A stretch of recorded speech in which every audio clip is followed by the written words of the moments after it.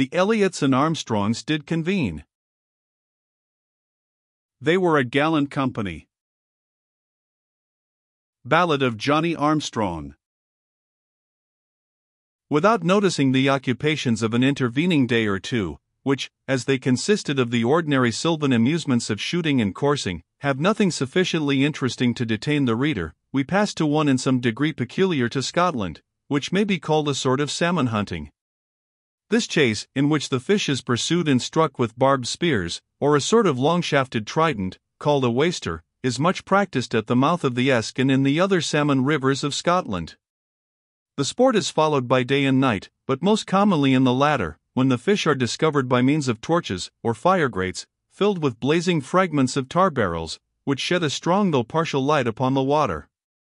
On the present occasion, the principal party were embarked in a crazy boat upon a part of the river which was enlarged and deepened by the restraint of a millware, while others, like the ancient bacchanals in their gambols, ran along the banks, brandishing their torches and spears, and pursuing the salmon, some of which endeavored to escape up the stream, while others, shrouding themselves under roots of trees, fragments of stones, and large rocks, attempted to conceal themselves from the researches of the fishermen. These the party in the boat detected by the slightest indications, the twinkling of a fin, the rising of an air bell, was sufficient to point out to these adroit sportsmen in what direction to use their weapon. The scene was inexpressibly animating to those accustomed to it, but, as Brown was not practiced to use the spear, he soon tired of making efforts which were attended with no other consequences than jarring his arms against the rocks at the bottom of the river, upon which, instead of the devoted salmon, he often bestowed his blow. Nor did he relish, though he concealed feelings which would not have been understood, being quite so near the agonies of the expiring salmon, as they lay flapping about in the boat, which they moistened with their blood. He therefore requested to be put ashore, and, from the top of a hew or broken bank, enjoyed the scene much more to his satisfaction. Often he thought of his friend Dudley the artist, when he observed the effect produced by the strong red glare on the romantic banks under which the boat glided. Now the light diminished to a distant star that seemed to twinkle on the waters, like those which, according to the legends of the country, the water kelpie sends for the purpose of indicating the watery grave of his victims. Then it advanced nearer, brightening and enlarging as it again approached, till the broad flickering flame rendered bank and rock and tree visible as it passed, tinging them with its own red glare of dusky light, and resigning them gradually to darkness, or to pale moonlight, as it receded. By this light also were seen the figures in the boat, now holding high their weapons, now stooping to strike, now standing upright, bronzed by the same red glare into a color which might have befitted the regions of pandemonium. Having amused himself for some time with these effects of light and shadow, Brown strolled homewards towards the farmhouse, gazing in his way at the persons engaged in the sport, two or three of whom were generally kept together, one holding the torch, the others with their spears, ready to avail themselves of the light it affords to strike their prey. As he observed one man struggling with a very weighty salmon which he had speared, but was unable completely to raise from the water, Brown advanced close to the bank to see the issue of his exertions. The man who held the torch in this instance was the huntsman, whose sulky demeanor Brown had already noticed with surprise. Come here, sir. Come here, sir. Look at this ain. He turns up aside like a sow, such was the cry from the assistants when some of them observed Brown advancing. Ground the waster wheel, man. Ground the waster wheel. Haud him down. Ye haina the pitho a cat, were the cries of advice, encouragement, and expostulation from those who were on the bank to the sportsman engaged with the salmon, who stood up to his middle in water, jingling among broken ice, struggling against the force of the fish and the strength of the current, and dubious in what manner he should attempt to secure his booty. As Brown came to the edge of the bank, he called out, Hold up your torch, friend huntsman, for he had already distinguished his dusky features by the strong light cast upon them by the blaze. But the fellow no sooner heard his voice, and saw, or rather concluded, it was Brown who approached him, than, instead of advancing his light, he let it drop, as if accidentally, into the water.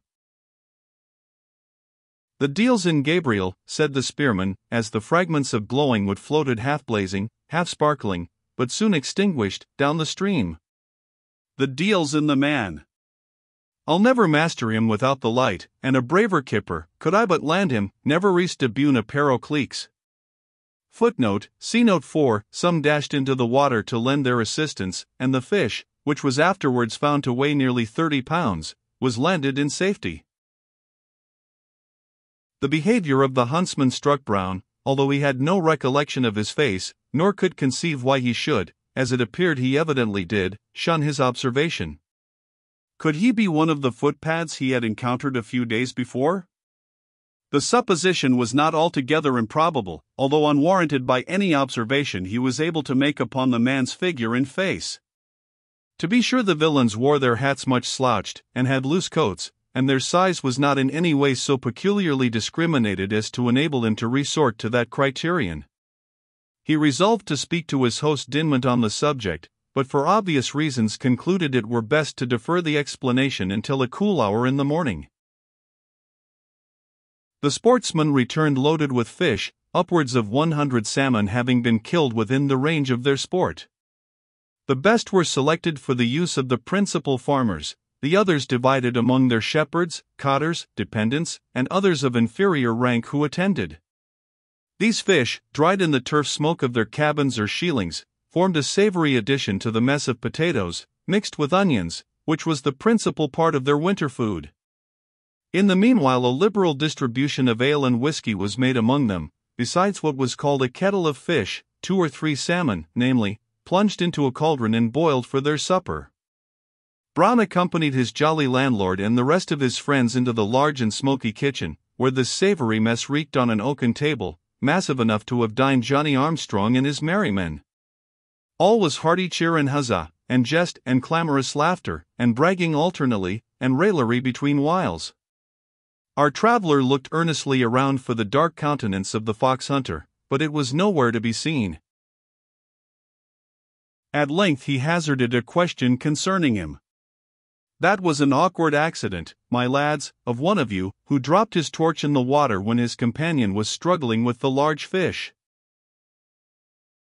Awkward, returned the shepherd, looking up, the same stout young fellow who had speared the salmon, he deserved his pakes for it, to put out the light when the fish was on ain't witters.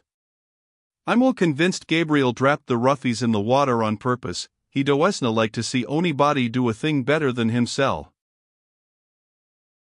I, said another, he's sair shamed o' himsel, else he would have been up here the night. Gabriel likes a little o' the good thing as weel as ony o' us. Is he of this country? said Brown. Nah, nah, he's been but shortly in office, but he's a fell hunter, he's frae down the country, some gate on the Dumfries side. And what's his name, pray? Gabriel. But Gabriel what? Oh, Lord kens that, we dinna mind folks after names muckle here, they run a say muckle into clans. Ye see, sir, said an old shepherd, rising, and speaking very slow, the folks hereabout are Armstrongs and Elliots, footnote, see note 5, and sick like two or three given names, and so, for distinction's sake, the lairds and farmers have the names of their places that they live at, as, for example, Tam of Todshaw, Willow the Flat, Hobby o' and our good master here the Charlie's Hope. A wheel, sir, and then the inferior sort of people, ye'll observe, are kenned by sorts o' by names some o' them, as Glaikit Christie, and the Dux Davy, or maybe, like this lad Gabriel, by his employment, as, for example, Tod Gabby, or Hunter Gabby. He's no been lang here, sir, and I dinna think ony body kens him by ony other name. But it's no right to rin him down ahint his back, for he's a fell fox hunter, though he's maybe no just as say clever as some o' the folk herawa why the waster. After some further desultory conversation, the superior sportsmen retired to conclude the evening after their own manner, leaving the others to enjoy themselves, unawed by their presence. That evening, like all those which Brown had passed at Charlie's Hope, was spent in much innocent mirth and conviviality. The latter might have approached to the verge of riot but for the good women, for several of the neighboring mistresses, a phrase of a signification how different from what it bears in more fashionable life, had assembled at Charlie's Hope to witness the event of this memorable evening. Finding the punch bowl was so often replenished that there was some danger of their gracious presence being forgotten, they rushed in valorously upon the recreant revellers, headed by our good mistress Ailie, so that Venus speedily routed Bacchus. The fiddler and piper next made their appearance, and the best part of the night was gallantly consumed in dancing to their music. An otter hunt the next day, and a badger baiting the day after, consumed the time merrily. I hope our traveler will not sink in the reader's estimation, sportsman though he may be, when I inform him that on this last occasion, after young Pepper had lost a forefoot and Mustard the second had been nearly throttled, he begged, as a particular and personal favor of Mr. Dinmont, that the poor badger, who had made so gallant a defense, should be permitted to retire to his earth without farther molestation. The farmer, who would probably have treated this request with supreme contempt had it come from any other person, was contented in Brown's case to express the utter extremity of his wonder. Weel, he said, that's queer enough. But since he take his part, deal a tyke shall meddle why him in my day. Willie and mark him, and see a him the captain's brock, and I'm sure I'm glad I can do onything to oblige you, but, Lord save us, to care about a brock. After a week spent in rural sport, and distinguished by the most frank attentions on the part of his honest landlord, Brown bade adieu to the banks of the Liddel and the hospitality of Charlie's Hope. The children, with all of whom he had now become an intimate and a favorite, roared manfully in full chorus at his departure, and he was obliged to promise twenty times that he would soon return and play over all their favorite tunes upon the flageolet till they had got them by heart. Come back again, Captain, said one little sturdy fellow, and Jenny will be your wife. Jenny was about eleven years old, she ran and hid herself behind her mammy. Captain, come back, said a little fat rollabout girl of six, holding her mouth up to be kissed, and I'll be your wife, my Ansel. They must be of harder mold than I, thought Brown, who could part from so many kind hearts with indifference. The good dame, too, with matron modesty, and an affectionate simplicity that marked the olden time, offered her cheek to the departing guest. It's little the like of us can do, she said, little indeed, but yet, if there were but onything. Now, my dear Mrs. Dinmont, you embolden me to make a request. Would you but have the kindness to weave me, or work me, just such a grey plaid as the goodman wears? He had learned the language and feelings of the country even during the short time of his residence, and was aware of the pleasure the request would confer. A tato will would be scarce amang us, said the good wife, brightening, if ye shouldna hae that, and as good a tweel as ever cam aff a pern. I'll speak to Johnny Goodsire, the weaver at the castle town, the morn. Fare ye weel, sir. And may ye be just as happy yoursel as ye like to see at body else, and that would be a sair wish to some folk. I must not omit to mention that our traveller left his trusty attendant Wasp to be a guest at Charlie's Hope for a season. He foresaw that he might prove a troublesome attendant in the event of his being in any situation where secrecy and concealment might be necessary. He was therefore consigned to the care of the eldest boy, who promised, in the words of the old song, that he should have a bit of his supper, a bit of his bed and that he should be engaged in none of those perilous pastimes in which the race of mustard and pepper had suffered frequent mutilation. Brown now prepared for his journey, having taken a temporary farewell of his trusty little companion.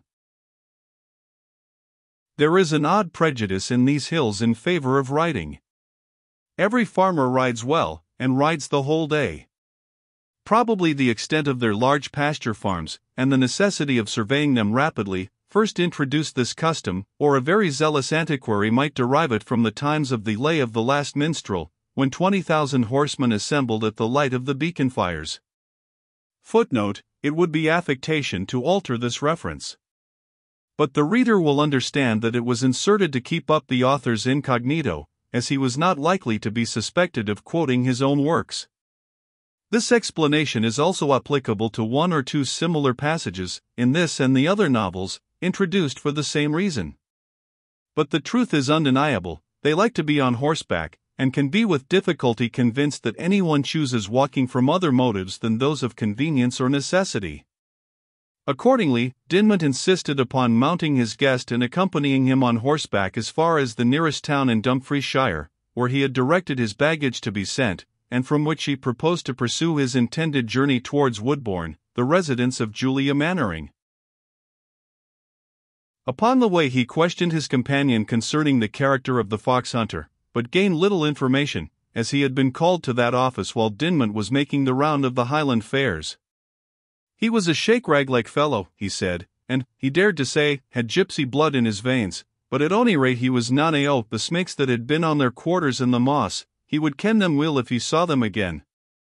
There are some no bad folk amang the gypsies too, to be sick a gang, added Dandie, if ever I see that old randletree of a wife again, I'll gie her something to buy tobacco. I have a great notion she meant me very fair after a dot.